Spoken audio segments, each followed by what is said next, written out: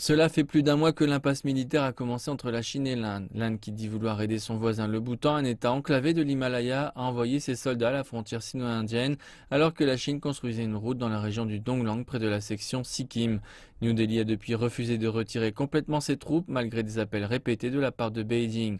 Le ministère chinois des Affaires étrangères a noté que selon la convention de 1890, entre la Grande-Bretagne et la Chine, la région du Donglang était une partie inaliénable de la Chine.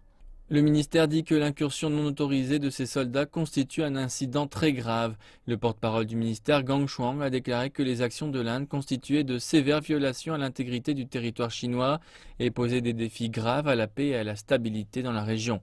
Il a ajouté que la Chine et le Bhoutan avaient conduit plusieurs cycles de pourparlers et que l'Inde n'avait aucun droit d'interférer ou d'émettre de quelconque exigence de la part du Bhoutan.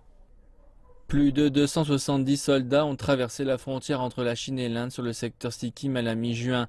À la fin du mois dernier, plus de 40 membres de l'armée indienne ainsi qu'une pièce d'artillerie lourde demeuraient sur le territoire chinois. Le ministère chinois des Affaires étrangères Wang Yi a déclaré que la solution était simple. L'Inde doit se retirer immédiatement et sans condition de la région du Donglang.